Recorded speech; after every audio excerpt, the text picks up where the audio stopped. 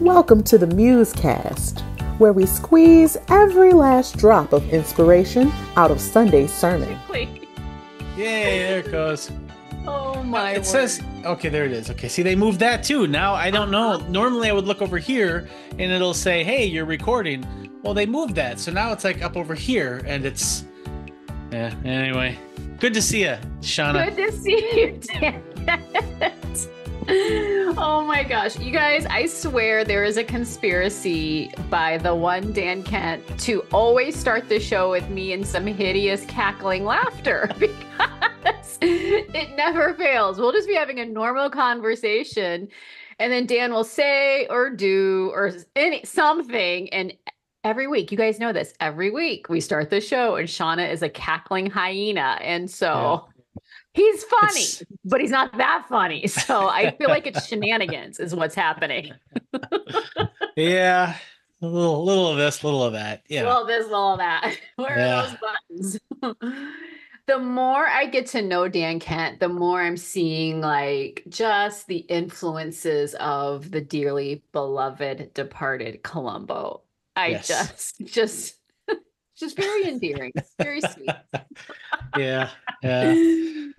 That's a good influence. That's a good That's influence, That's a great influence. I love Yeah. it. So good. Um, Yeah. how are you doing? I haven't seen you in forever, it feels like. Yeah, it's isn't that weird? Just like this. Yeah, normally we see each other a lot more than we have lately. So you, well, you've you've you're busy with your family stuff and Yeah. college is starting, and so you're you know dealing with that. I, we've actually had some uh, family death in the family kind of thing. So Barbara has been down in in Milwaukee, and so I've been kind of here, but then doing things that you know Barbara usually does, and so yeah. it's a little hectic here too. But it's all good, and um, yeah, I'm sorry to hear that, Dan. We'll be praying for you guys. Yeah, so um yeah, that's it's fall and uh yeah, it's I, what a series. We just finished, series. I you know, uh, we just we finished our uh politics series. I know. And- I was um so I was traveling this weekend moving my one of our kiddos back to school and um I as I was trying to listen which that never works out well for me. So long story short, listening early this morning and when Greg was like this is the end of the series I was like, "Oh my you're right. It is the Yeah. end." But but he kept referring to Revelation, so I kn- I know exactly where his mind is, but Yeah. what a great um final sermon of the series and Mhm. what a really lovely heart posture that Mhm. um you birthed that Greg took and molded and, and crafted and created to bring us a clash of mindsets and Yeah. um I, I can't believe the series is over like you said it has been really good and so I just want to say good job you for uh what Oh, you did Well, it, to bring it to yeah. I boy, I tell you what, I I like I found some kindling and I had like two rocks that I put together, but I really didn't do much more than that. It was really this series more than a lot of them was it was sort of a big team effort, you know. Uh everyone contributed and and it the, the idea I originally started with and what it became very different, but uh, it was it was delicious. It was great. It was uh, you know, I, I I feel like I learned a lot and um, just had a lot of really good reminders and uh, Mhm.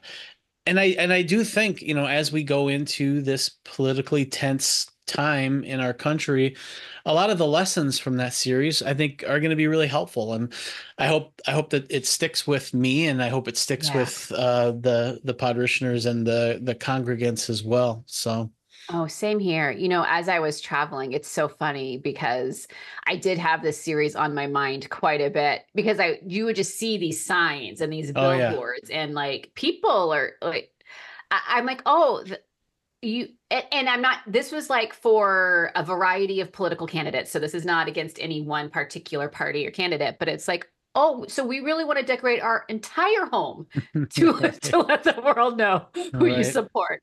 Well, that's a Wow. choice. I mean, okay. I guess you don't have strict Mm. HOAs there. I don't- it was just fascinating, just up and down Mm. the highway, um, and even like I was in another state, and it, it's just wow. So. Mm. I literally kept thinking, okay, heart postures, and you never, you know, just trying to like, I have a re- way to be and respond regardless of what comes at me. And so, yeah, it's, it's been really good. It's been really rich. You use the word delicious. I like that. It's also been a tad convicting, a little too much for my liking, but that's a bone I'll pick later on with our team. But anyway, um, yeah. I'm excited to hear your summary, Dan, because like I said, with traveling and everything, I had to do a quick, quick like intake of a Sunday sermon. So I'm I'm really anxious to hear yeah. your summary and your thoughts, and let's see where our discussion goes today. Yeah. Sounds good. Well, uh, yeah, it, it, was. I tell you what, out of the sermons, uh, it, I would say that this sermon by Greg, it, from an from an information architecture perspective, uh, it, it, was pretty brilliant. I mean, how he has it, like, like you could see in my notes, see all the boxes, and it's just all squared off really well. And that that usually means that okay, everything had a, the right place for everything. And like a lot of times, you know, notes for a sermon is like blah, they're all over the place. And so uh, this is like, man, he had it really orderly and um and so just for whatever that's worth. But the sermon itself, the actual content of the sermon, uh, he, he really wants to look at uh, pride and how pride has uh, sort of permeated our culture. And and then so then he wants to look at how humility uh, contrasts with that. Um, now, uh, he, well, I'll, I'll come back to that because I have thoughts on that, but we'll, we'll, we'll come back to that. But he starts off the sermon by talking about his early young aspirations to be Superboy, which, uh, uh, you know, I think I, as a young man of 18, I thought I was going to be Batman. So, you know, uh, I, I, get it. I get this kind of uh, desire that uh, he had as a young boy. But the lesson that he learns and the lesson that he takes into this is uh, he's not Superboy. And this idea that he could be Superboy and that he was just on the way to being Superboy, well, he sort of crashed into reality that he does not have those superpowers. And he uses this story as a, a, foundation for this kind of principle, which says uh, if you imagine that you can do something that you cannot do, eventually you crash into reality. Uh, if you think that you are more than you are, eventually you will crash into reality. And that is what pride is. It's it's thinking that you're more than you are. And um and that leads to a fall proverbs tells us and and it hurts. Um and, and so he looks at how uh, that lie, that sort of living in a lie of of who you are, uh, is sort of the foundation for all sin because all sin is a lie about who we are or what we can do. Um, and and it's interesting too. And we, Greg and I have talked about this. I think you and I have talked about this as well. When we sin, whenever we sin, we can only really feasibly do that if we pretend that God is not real, that God is not near, that God is not present, that God isn't who the Bible says God is, we have to sort of pretend like that's not real in order to uh, be able to engage in, in, in sin. And so you have to live in that lie, that alternative reality. Uh, Greg calls it. Uh, and so then he kind of looks at like this uh, lie and this alternative reality in Scripture, and and this is kind of a cool part of the sermon because he he he goes kind of cosmic. I mean, he goes big and and uh, kind of metaphysical here. He he starts talking about uh, Satan and the fall of Satan and how that was related to uh, Satan's pride and Satan thinking that he was something that he wasn't. And so uh, Greg looks at Isaiah fourteen twelve, which is sort of this this popular uh, kind of I don't know what you would call it, like a nod to Satan, where originally uh, Isaiah was talking about a king, but um, you could tell that Isaiah was using language in such a way that he was also pointing to something much bigger. And so this is this uh, this passage is where we get this idea of the rising star or the brightest of the gods, uh, the CEO of the cosmos. Uh, it's it's um, it's what um, in the Latin where we get the word Lucifer is from this, this bright luminescent star. And uh, and so what happens here is that this character, this Lucifer character, is driven by this desire to ascend, to to rise to the throne, to uh, be like God. But of course, that is a lie, and this this uh, prideful ascent mindset is what Greg calls it. Um, gets everyone who gets wrapped up into that into trouble, including uh, Satan or Lucifer. Um, and then uh, Greg just notes that in this way, uh, the the the pride carries the seed of its own destruction. In the same way that believing that you're a Superboy when you're not, uh, you have this seed of your own destruction because when you try to fly, you're gonna fall and hurt yourself. And and so that's that's how the consequences of the sin are buried within the behavior itself, which I think is pretty profound. And then and then Greg just shows how the serpent who was sort of living in this alternative mindset, who was trying to ascend to God, who was discontent with himself. Uh, that's that's the same pitch that he brings to uh, Eve in the garden, and and uh, and he says, "Look, God told you that, that that's just one version. Here's the reality.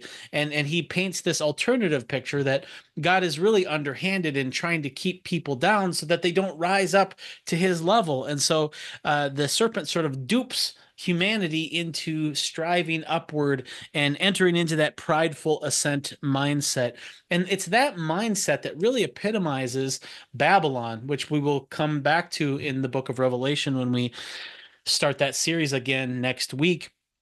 But you know the the lies are are are robust. And and Greg talked about how you know we believe that uh, we can define our reality for ourselves and that we deserve more than what we have and that it's okay for us to be self-centered and to exploit uh, others and to just use resources at at will and um, to conquer and to waste whatever we have we just believe that that's okay for us and eventually uh, we're going to face the consequences. We're going to crash in the same way that um, Superboy crashed and Lucifer crashed. Uh, and yes, Bat Dan also crashed uh, in his own life. Um, and so that's sort of the foundation now that Greg takes all of that and and comes back to okay let's look at this politics series now uh, what's going on in western culture and he's he thinks this this culture in the West is very much like Babylon. There is this ascent sort of mindset, and um, and and no one is content, and and and we're we're just we're you know burning through fossil fuels, and we're we're all about profits, and and it's just um it's sort of it's rampant this uh ascent mindset and trying to get more more more more. And so what he proposes is that what we find in the scripture is the antidote to this is a uh he calls it a loving descent mindset or another way to say that is humility. And that's what we don't have in our culture is humility. There's just no humility uh, anywhere especially in politics. And so what you find then uh, in the scripture is not only does the scripture call us to hum- humility and God calls us to humility, but God, these aren't empty, you know, principles. These aren't like empty kind of uh, whatever they're called, uh, motivational posters. That God actually put skin in the game here. God lives this out. God, uh, we're told in Philippians, empties himself to become human. He sets aside all of his own advantages so that he could become like us. Um, and so that's the mindset that we are called to have too. To uh, to instead of trying to ascend higher, rather try to empower others who are even below us, and to to work from the bottom up and to lift others up and uh, to have that type of heart, that loving descent mindset.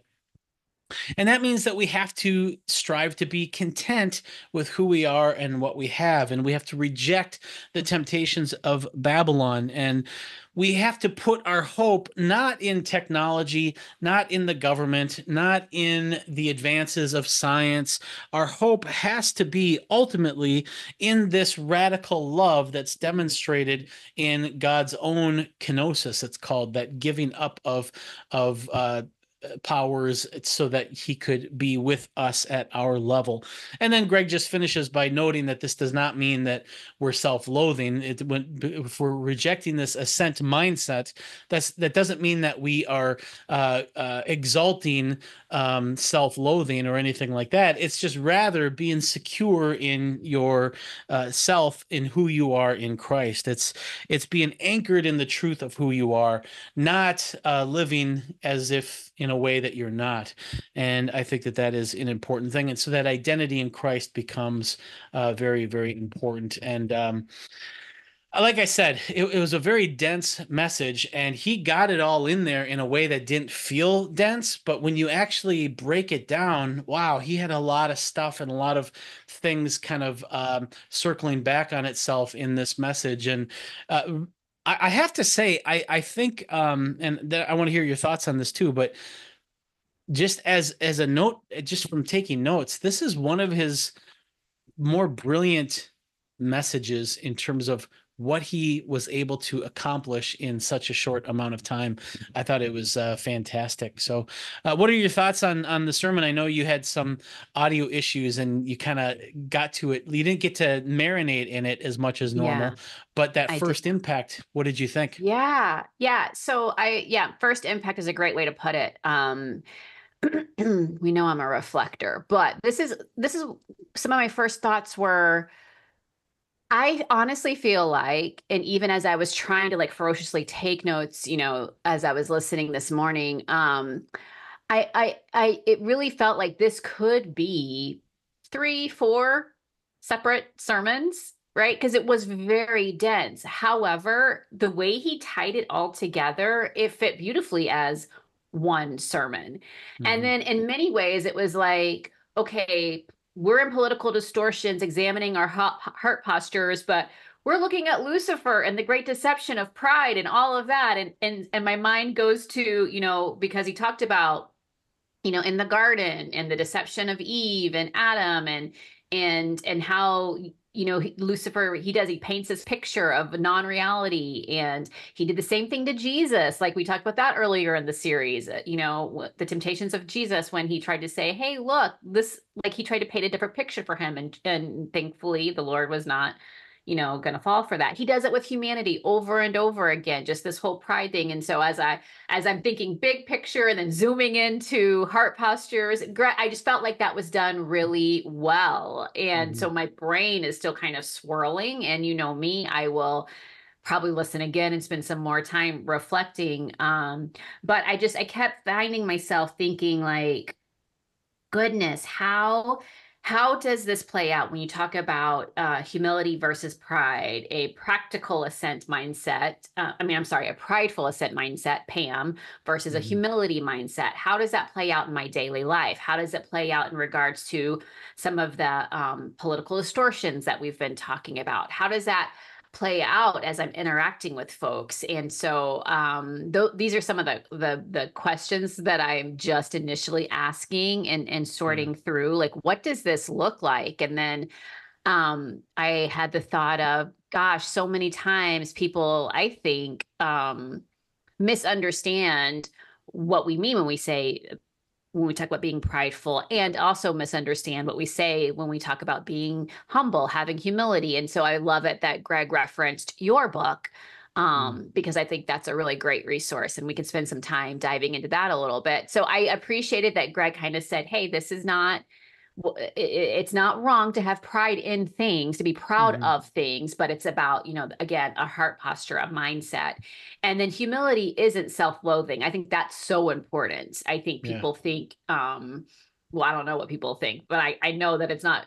good stuff when they think humility they just think you know they're just going to be beat down and yeah. and um a, a doormat for folks and that's not what it is either and so how it all plays together i'm still processing and thinking yeah. through but um yeah, I, I I thought it was really honestly a really brilliant way to conclude the mm-hmm. series. Um from big picture to to to more boots on the ground. Um, yeah, so I, I'm yeah. kind of rambling now, but yeah, yeah, no, that's that's good. I think uh well, and the way he finished it too, looking at this posture, this mindset, as sort of like the grounding for everything else uh, i think i think was great too like it's when you are secure in yourself and who Yes. you are in christ In that now you can let your gentleness show.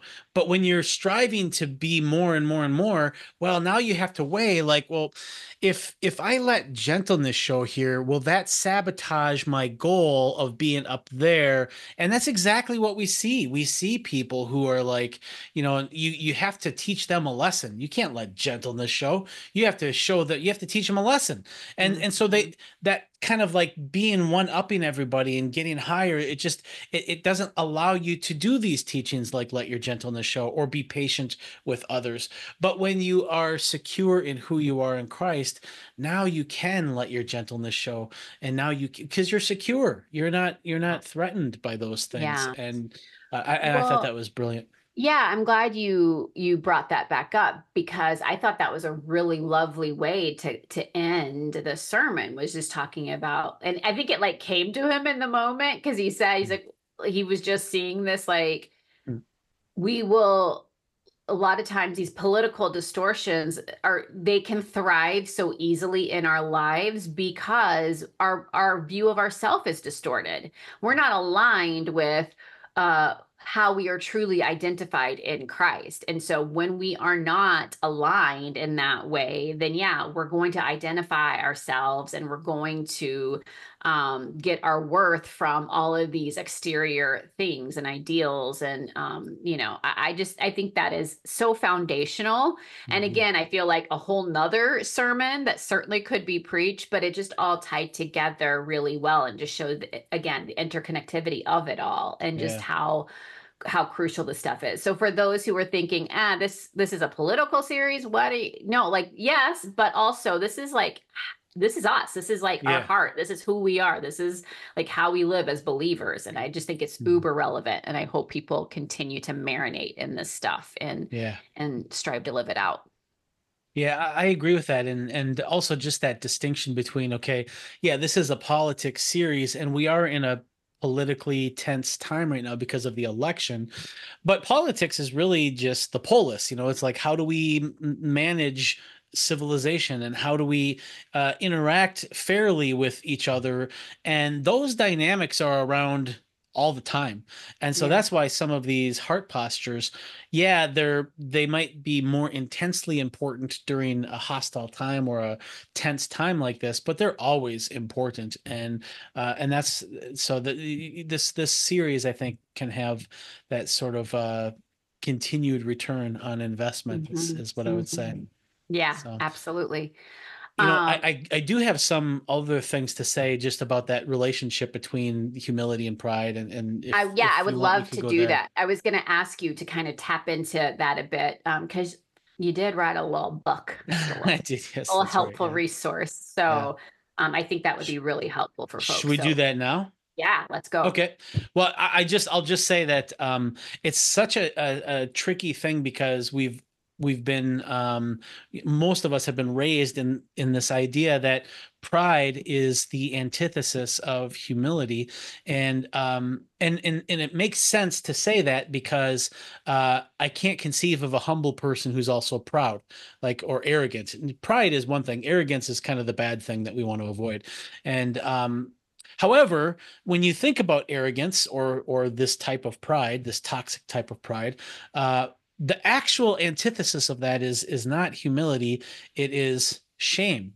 It is Mm. self-loathing, and uh, and so to say that humility is the antithesis of this arrogance or pride would be to say that it's equal to shame and self-loathing but we we don't see that in Jesus but we do see that in a lot of churches a lot of churches have this model of humility and they end up kind of pushing people down and so uh basically what what i argue is that in in matthew 23 especially jesus provides this alternative view of humility and i have this little drawing in my book uh there it is where it kind of shows that that pride is the antith- antithesis of shame and humility is contrary to both.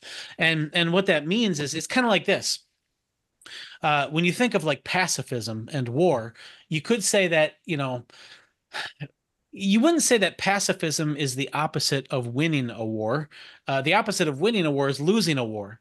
Pacifism is against both. Pacifism is against war itself, and um, and really, you know, humility is against whatever it is that creates both shame and pride um, and what that thing is i talk about in my book but it's basically living in some way other than your identity in christ. It, it's it's it's thinking that you're something other than what the bible says you are.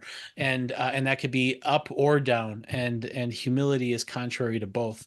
And so humility largely is living in that security of who you are in christ. It's it's it's realizing that fundamentally you are fundamentally loved by the creator of the universe. And and so is everyone that you encounter. And uh, and so treating yourself and others in that way that's that's the i think the the foundation of the humility that jesus teaches in the new testament. Um and so that is kind of just the the, the elevator pitch for for that view of humility. And it's uh it's a view that um uh is new to a lot of people uh, still today like when i encounter people even within woodland hills it's it's still new to them. And um, so i hope people benefit from that and can can uh, think about that. That is really helpful dan. Um, let's let's like get like really practical for folks. So how can the way that you have described and talked about humility in your mm-hmm. book, how can we take that and implement it as a heart posture as we are kind of having some of these conversations that are contentious and we're, you know, we, we find ourselves in a world that is really polarized? Like, how how does this um, empower us to live more christ-like and more true to our identity in christ yeah well, I think um, he- here's what I would say is that uh, there's a there's a, a lot. I mean, boy, I don't even know where to start. But I guess one thing I would say is when you when you think that um, when you think that if you don't live in this humble way where you you you're not fundamentally loved um, well, that means a lot of, for a lot of people, especially in this sort of uh, prideful ascent mindset, the assumption of this prideful ascent, ascent mindset is that you are not secure. You have to get, you have to achieve, you have to arrive at this higher spot. You have to accomplish the aspiration that whatever it is whether it's you know uh, money or fame or whatever it is that you're trying to aspire to y- your security hinges on that. And there's the, this uh, there's this frantic discontentment inherent in that until you get that. And of course what happens is even when you do get that it's it's it's not fulfilling. And so the frantic discontentment returns. And but when you live in this humility when you live in the reality that fundamentally you are secure whether you know it or not uh, you are secure because god loves you with an unsurpassable love. And um and and that at the very basic uh, level helps because it it, it gets rid of that frantic discontentment. And and that gets rid of our our fragility to uh, people who argue with us people who make claims about us people who disagree with us. We're not vulnerable to any of that because we are living in the the most profound security we can have. The creator of the universe uh, became the antithesis of himself, became sin on the cross to demonstrate how much he loves me. And if I live in that profound, insurmountable, philosophically ex- most extreme possible payment and demonstration of love, if I start there, well, no, I'm invulnerable to everything. There's nothing that can hurt me. There's nothing that is a threat to me. Not even death is a threat to me because the creator of the universe has promised that he will be with me. And and so to live in that, I don't have to get worked up about all of the things that people say and the people who disagree and the shocking pictures and did you hear what this person said and look at what these people are these people look at what they're doing and and they're going to ruin our country and I just I'm invulnerable to all of that. I can now just focus on what God calls me to do, which is to love those around me, which is to love the people that I come across. I don't have to solve the world's problems. I don't have to do any of that stuff. I just love the people I can love in this godly way because I live in that security and I'm not threatened by those things. And and to me, that is the the the best kind of most comforting part of living like that. And then the second uh, part of that is to realize that if God has this unsurpassable love for me, that means that we as God's people are unsurpassably equal. Uh, because if he has unsurpassable love for me, that means that he can't have more love for anybody else. Otherwise, his love for me would have been surpassable. And so that that that the fact is is that we are all equally unsurpassably loved, which means that you know i can go in and i can be wrong about stuff and that doesn't demote me beneath the people who are right. It doesn't uh derogate me beneath anybody. There there's nothing that can threaten that uh, security that I have, and that just means that I can just be honest. I can just live uh, more truthfully. Um, kun is the word that Greg you, uh, taps into from the Old Testament, and and and that means that I can treat people in a way that um, I, I recognize their their equality with me as being unsurpassably loved by God. Even if they're doing despicable things, I can challenge that that behavior. I can stand up to that behavior, but not in a way that is um, hostile or violent because they are precious children of God as well. And it just, for me at least, it takes a lot of that uh, competition out of everything and it takes a lot of the feeling of threat out of everything and it just allows me to be an ambassador of this profoundly loving god. Uh, you know we're human and we we we screw up but this mindset more than anything else has uh, helped me uh, a great deal. Um, so i guess that's my answer to that I love it, Dan. Thank you. Um, yeah, I think it's a great reminder that, I mean, I, I don't know every single person listening to the show or tuning into Woodland, but um, I would say for most of us, we're not world leaders.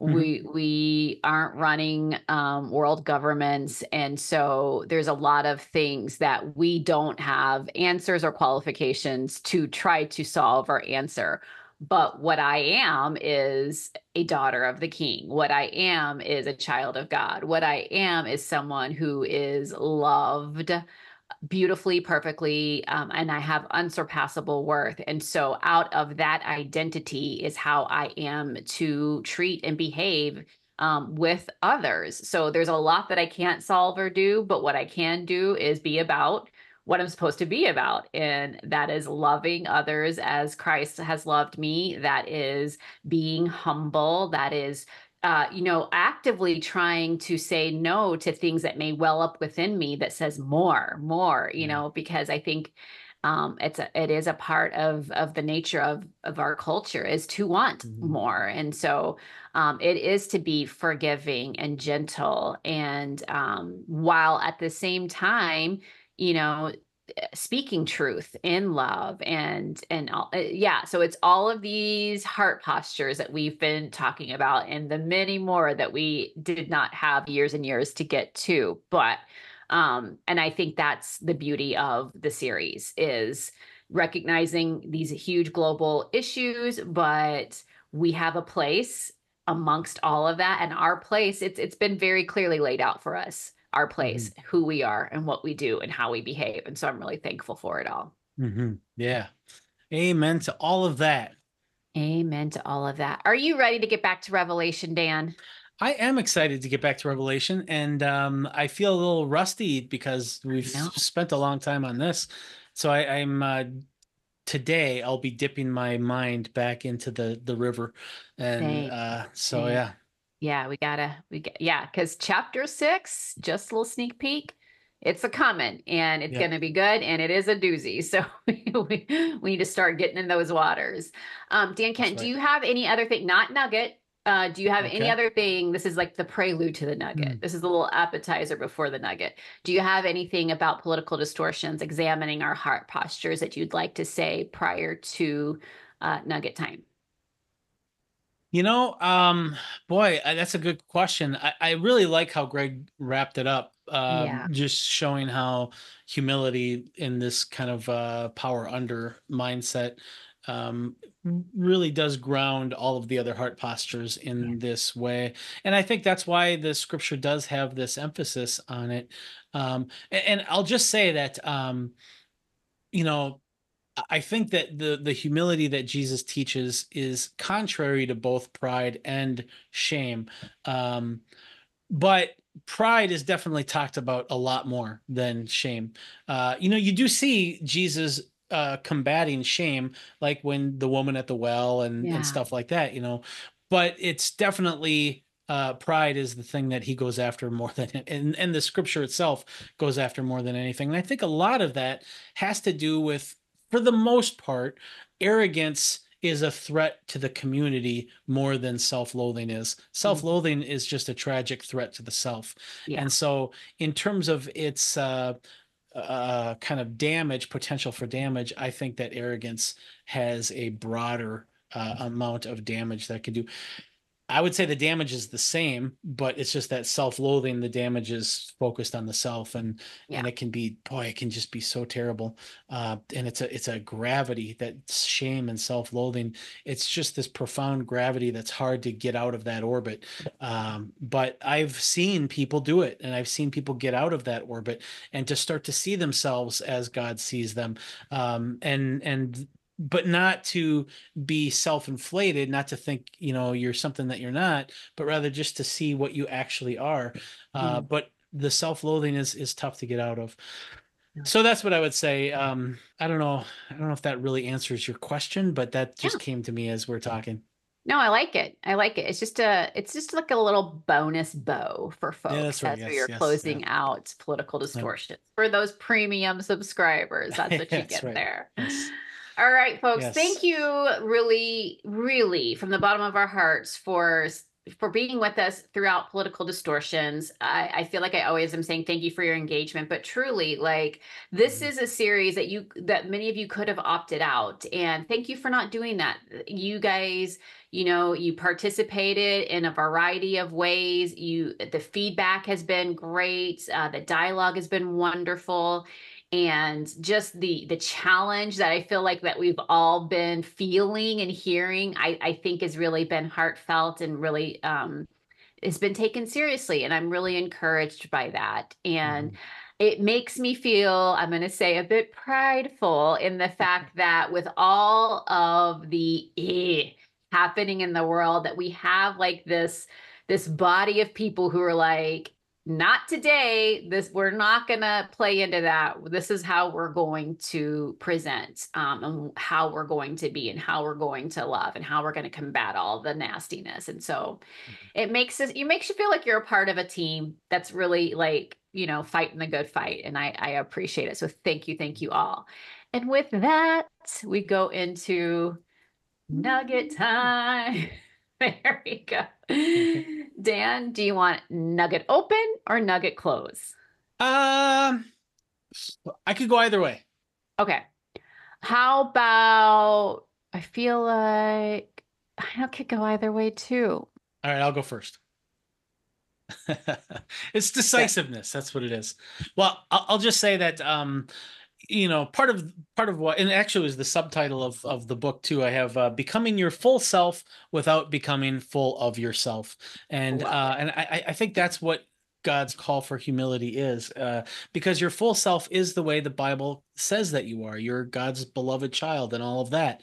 Um, and and yet uh so often people feel like anything positive threatens their humility uh, because they have this idea that humility is the opposite of of pride and so anything positive moves you toward pride and and I don't think that that's the case because pride or arrogance is to be superior to others. But we know that that's not true. We know that we are unsurpassably equal, uh, which means that you can uh, strive to be effective at stuff. You can be uh, gifted. You can let your gifts flourish. You can uh, accomplish things without threatening your humility because humility is this unsurpassable love of God and this unsurpassable equality. And I think that that's important because you know you think of like jesus and the apostle paul and, and in fact paul one time even said i think it was to the uh uh, the Corinthians, he said, I wrote to you with great humility. He's even boasting about his humility. And uh, and so you, you can't do that if humility is this low kind of bad thing.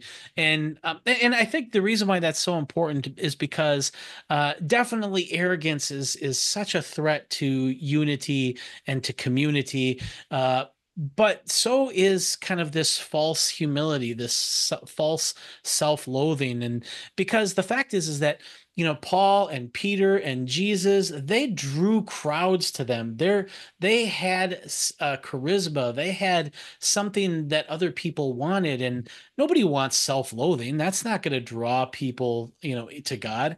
Uh, i think uh, you know being able to live uh, you know in love and to have good relationships and to be effective in the world without feeling like you're better than others that's what draws people i think uh, to god. That's what being an ambassador of christ is. If you are representing god in the world and you think yourself terrible and miserable and da da da da you're turning people off. I mean that's where's god's power in your life? What what difference has god made that's positive? It seems like god has only made negative differences in your life. And so that's why i think you know realizing that humility is contrary to arrogance and self-loathing it really opens up the possibility of being a magnet for God's king, uh, kingdom, being a light shining on a hill. I mean, you know the self-loathing that's not a light shining on a hill. That's that's a black hole. That's you know that's that's a darkness.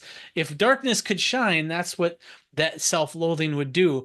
And uh, that's why i think jesus' teaching is so radical uh, and, and, so helpful uh, and, and it helps us be light instead of just more darkness.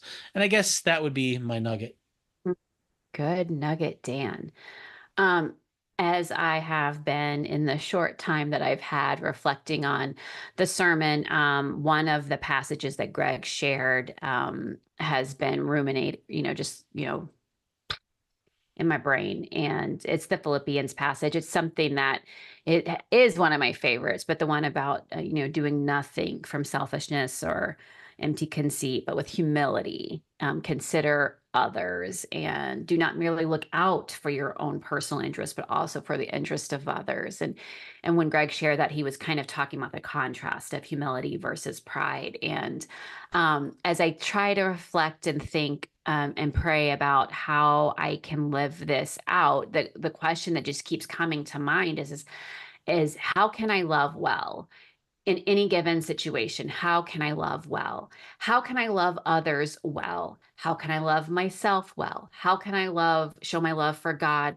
well? How can I love my community well, my church well, um, my neighbor well? Like I feel like if I if I can be asking that question, then that puts me in the proper posture to um to be living in more of a humility mindset versus a pride mindset and again i'm not trying to say that to be boastful or like ooh but but i feel like we have to we have to do things in our life that trigger the behaviors that we are hoping to walk in um, and that we're hoping you know to show others. And so a lot of these things don't come up naturally for us because we are so bombarded by the opposite. And i think our natural inclination many times can be you know, to fight fire with fire. And so for me anyway, to, to, to sort of try, kind of trigger a different mindset, I think a good question is, is how can I love well?